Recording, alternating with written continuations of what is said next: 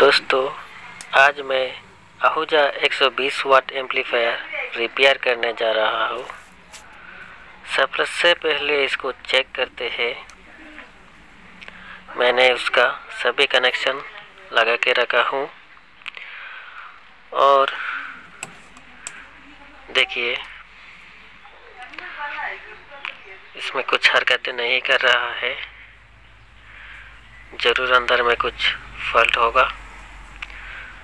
तो इसको निकाल के देखते हैं।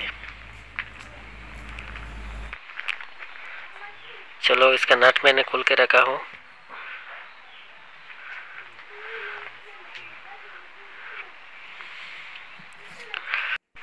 मल्टीमीटर को 200 वोल्ट डीसी रेंज में सेट किया हूँ और उसका माइनस प्रो को आठ के साथ जोड़ दिया हूँ। और अब उसको सप्लाई चेक करता हूँ। देखिए।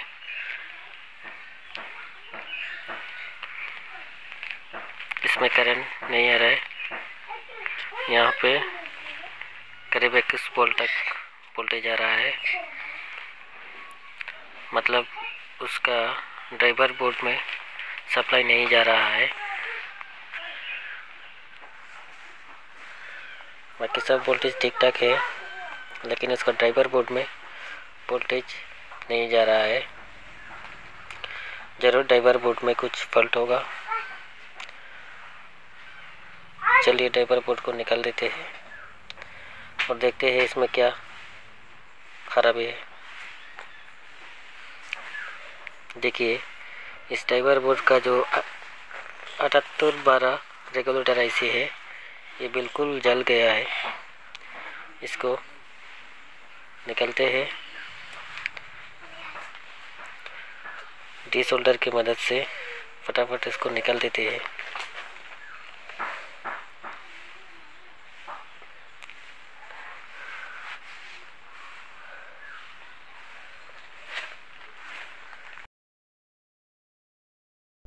तो फाइनली इस आईसी को मैंने निकाल ही दिया और उसके जगह पे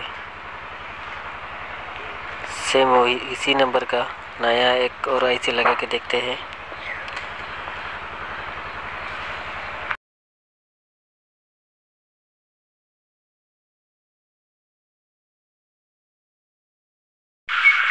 तो यही है अठहत्तर बारह रेगुलेटर आईसी या मोसफेट जो भी पतल बोला जाए।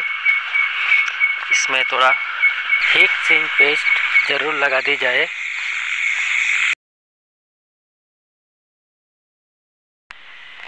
अब इस आईसी को लगा दिया जाए।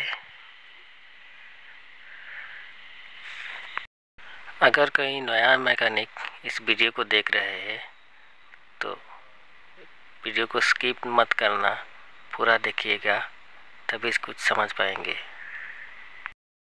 और कुछ ना समझे तो कमेंट में ज़रूर पूछिएगा।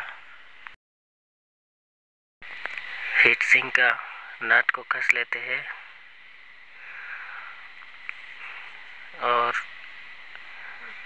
इसी को सोल्डरिंग कर लेते हैं। दोस्तों ऐसी को सोल्डरिंग करने वक्त ध्यान रखना है। कि इसके तीनों टांग अलग रहे और बिल्कुल साफ़ सुथरा रहे।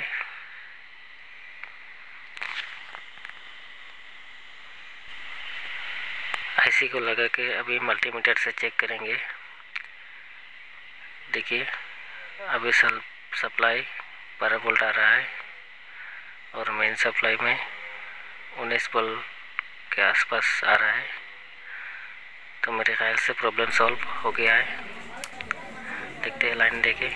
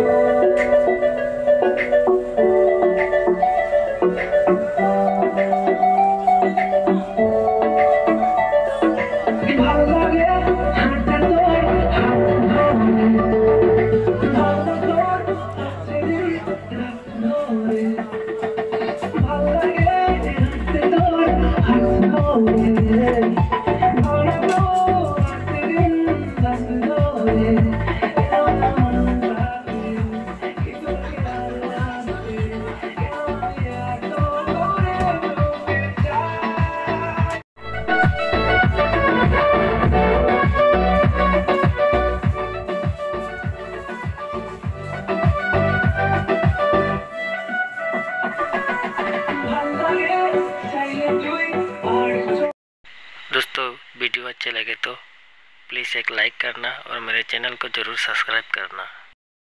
मत भूलिए।